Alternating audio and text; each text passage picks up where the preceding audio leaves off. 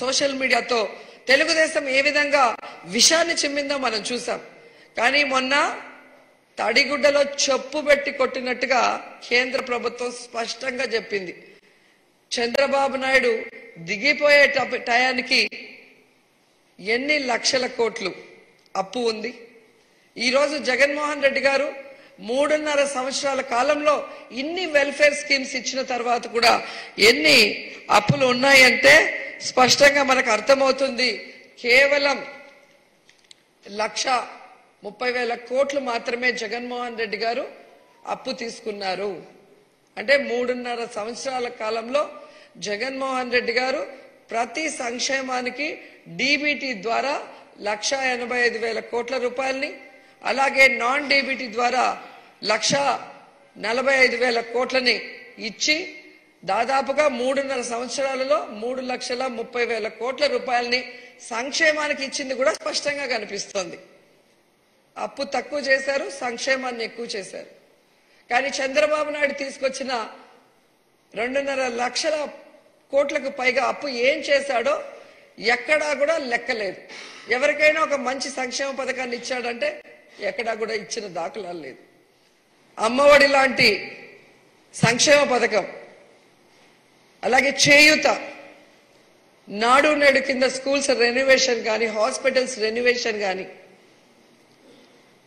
పేద మహిళలకి వాళ్ళ చిరకాల కోరికైన ఇళ్ళ పట్టాలిచ్చి ఇల్లు కట్టడం కానీ విద్య వైద్యం అలాగే వ్యవసాయం సామాజిక న్యాయం అన్నీ కూడా ఏ విధంగా ఆయన బ్యాలెన్స్ చేసుకుంటూ అందరికీ కూడా మంచి చేసినా కూడా ఈ రాష్ట్రాన్ని అప్పుల్లో మునిగిపోకుండా ఇంకా అభివృద్ధి వైపుకి ఎలా పరుగులు తీయించారో మనం చూసాం ఈజ్ ఆఫ్ డూయింగ్లో కంటిన్యూస్గా టూ టైమ్స్ నెంబర్ వన్ ప్లేస్లోకి వచ్చాం.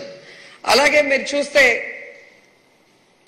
పారిశ్రామికంగా ఎదగటమే కాకుండా ఎగుమతుల్లో అలాగే ఎంఎస్ఎంఈలో అన్నిట్లో కూడా ఏ విధంగా అభివృద్ధి అభివృద్ధి వైపుకు పరుగులు తీయించారు తన చిత్తశుద్ధితో తన సుపరిపాలనతో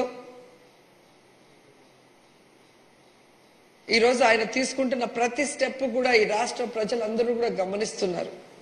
సో అవి చూసి తట్టుకోలేని తెలుగుదేశం పార్టీ పవన్ కళ్యాణ్ అండ్ లోకేష్ ఈ విధంగా విషం చిమ్ముతూ పోతుంటే ఎవ్వరూ కూడా పట్టించుకోరు అనేది వాళ్ళు చేపట్టిన ఆ విష ప్రచారంలోనే మనకు అర్థమైంది. ఎందుకంటే ఒకటి బాధుడే బాధుడే అని పెట్టారు. కనీసం తెలుగుదేశం పార్టీ నాయకులు కూడా ఆ కార్యక్రమంలో పాలు పంచుకోలేదంటే అర్థం ఏంటి? ప్రతి కుటుంబానికి దాదాపుగా లక్ష నుంచి రెండు లక్షల వరకు సంక్షేమం అందుతుంటే మనం వెళ్ళి బాధుడే బాధుడు అంటే మనని ప్రజలు బాధుతారన్న భయం ఉంది కాబట్టే వాళ్ళు ఎస్కేప్ అయింది స్పష్టంగా మనకు కనిపిస్తుంది. అలాగే మీరు చూస్తే పెయిడ్ ఆర్టిస్టులతో ఏ విధంగా అమరావతి ఉద్యమాన్ని తీసుకురావాలన్న ప్రయత్నం చేస్తే కోర్టు వాళ్ళని ఐడి కార్డులతో పాదయాత్ర చేయమనగానే ఆ పాదయాత్ర మయ మాయమైపోయిందంటేనే మీకు అర్థమవుతుంది.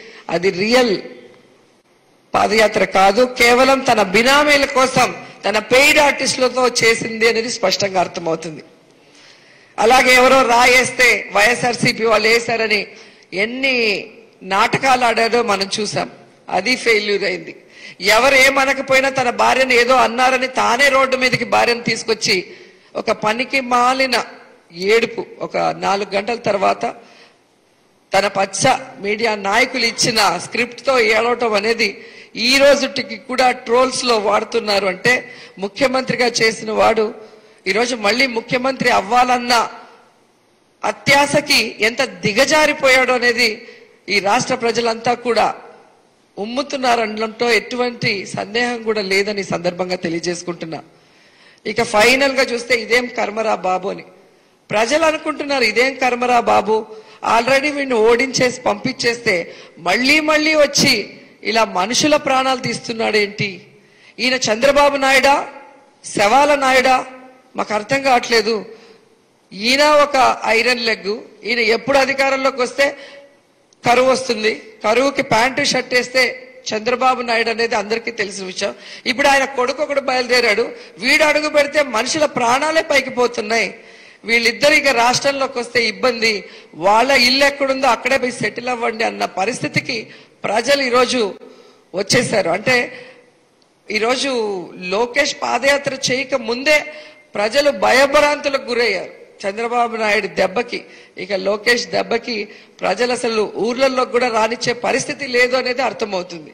సో ఇప్పటికైనా చంద్రబాబు నాయుడు కానీ పవన్ కళ్యాణ్ కానీ లోకేష్ కానీ పనికిమాలిన రాజకీయాలు విషం చిమ్మే రాజకీయాలు మీ చేతుల్లో ఉన్నారు కదా అని చెప్పి సిపిఎం వాళ్ళని కాంగ్రెస్ వాళ్ళని జనసేన వాళ్ళని అఖిలపక్ష మీటింగ్ అని చెప్పి ఒక పనికి మాలిన డిస్కషన్లతో రాష్ట్ర ప్రజల్ని కన్ఫ్యూజ్ చేయాలన్నా వాళ్ళకి నష్టం చేయాలన్న ప్రయత్నం చేస్తే సహించేది లేదు. ఇంతవరకు జగన్మోహన్ రెడ్డి గారు ఇలాంటివి నచ్చవు కాబట్టి అందరూ కూడా సైలెంట్గా ఉన్నారు.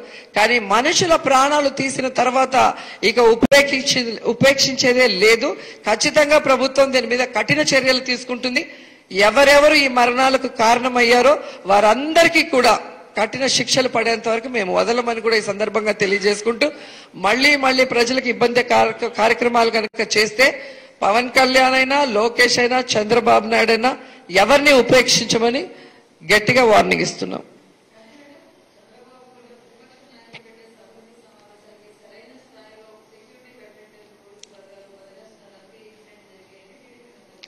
ఈరోజు పోలీసుల సెక్యూరిటీ ఉంది కాబట్టే ముగ్గురితో పోయింది. లేకపోతే పరిస్థితి ఏంటనేది ఒకసారి విజువల్స్ మీరు చూస్తే మీకే అర్థమవుతుంది. ఈరోజు తమ సభలకి జనం రావట్లేదనేసి ఈరోజు చీరలు ఇస్తాము నిత్యావసర వస్తువులు ఇస్తాము అని చెప్పి పేద ప్రజల్ని మభ్యపెట్టి ఏ విధంగా వాళ్ళని పిలిపించి ముప్పై వేల మందికి ఇస్తాం నలభై వేల మందికి ఇస్తామని చెప్పి పిలిపించుకొని ఒంటి గంటకే. తర్వాత చంద్రబాబు నాయుడు ఇస్తా వచ్చిన తర్వాత ఇస్తామని తర్వాత వాళ్ళకి కావాల్సిన కొంతమందికి ఇచ్చి ఇక అందరికీ ఇంటికి పంపిస్తామన్నగానే ఒక కలవరం ఏర్పడింది. ఇప్పుడు మేము ముప్పై రెండు లక్షల ఇళ్ళ పట్టాలు ఇచ్చాం. ఎక్కడైనా ఒక డెత్ జరిగిందండి? జగన్మోహన్ రెడ్డి గారు దాదాపుగా మూడు వేల ఆరు వందల కిలోమీటర్ల పైగా నడిచారు. కొన్ని లక్షల మంది జగన్మోహన్ రెడ్డి గారి వెనక నడిచారు. మీరు ఏ విజువల్ తీసుకున్నా మీకు కనిపిస్తుంది జనం అనేది. సెంటర్స్లో అండ్ బ్రిడ్జెస్ మీద చూస్తే విపరీతమైన జనం.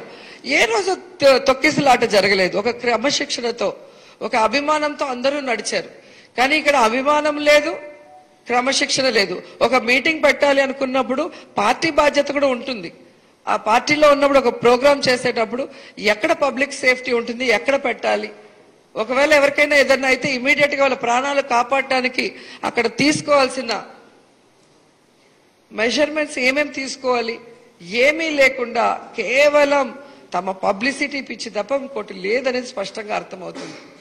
ఈరోజు వాళ్ళు చెప్పారు మేము ముప్పై వేల టోకన్లు ఇస్తాము చీరలు ఇస్తామని మరి ఎందుకు మొక్క ముప్పై వేల మందికి వాళ్ళు ఖచ్చితంగా ఎక్కడి నుంచి తీసుకొచ్చారో ఆ మనుషుల్ని ఆ తీసుకొచ్చిన వాళ్ళని అటాచ్ చేసి వాళ్ళ ద్వారా వాళ్ళ వాళ్ళకి డిస్ట్రిబ్యూట్ చేయొచ్చు. ఎక్కడ గొడవ జరగదు.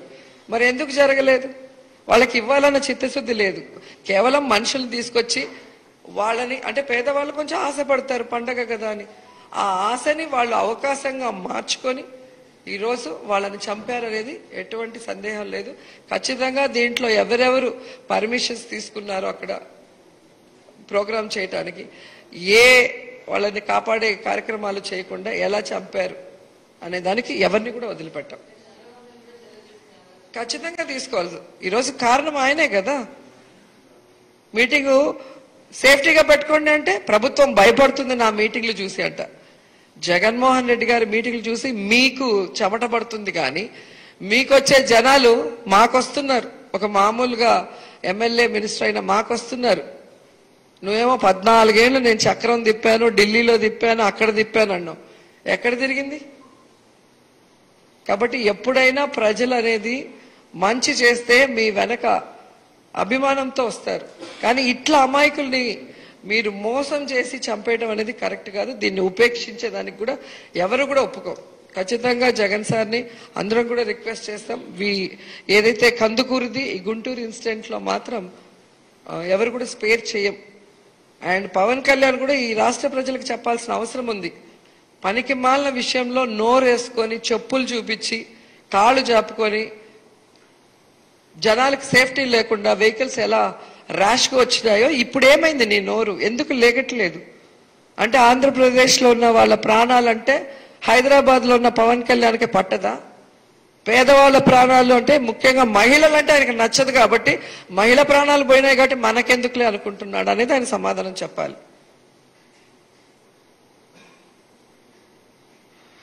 సో పవన్ కళ్యాణ్ అనే అతను ప్యాకేజీలకి తప్ప పాలిటిక్స్కి పనికి రాడు అనేది స్పష్టంగా ఈ రెండు మూడు రోజుల్లోనే ప్రజలకు అర్థమైంది.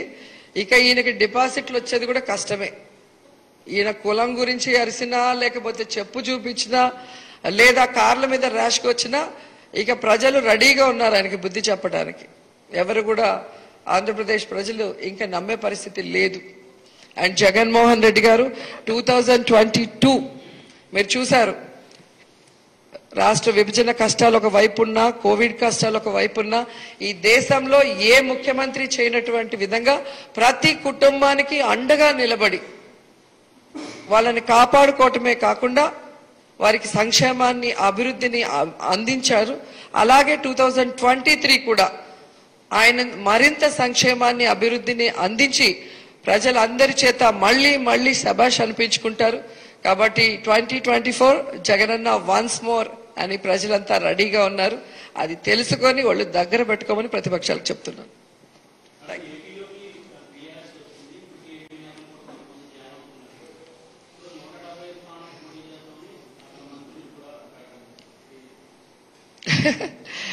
రాజకీయ పార్టీలు అనేది ఎవరైనా పెట్టుకోవచ్చు.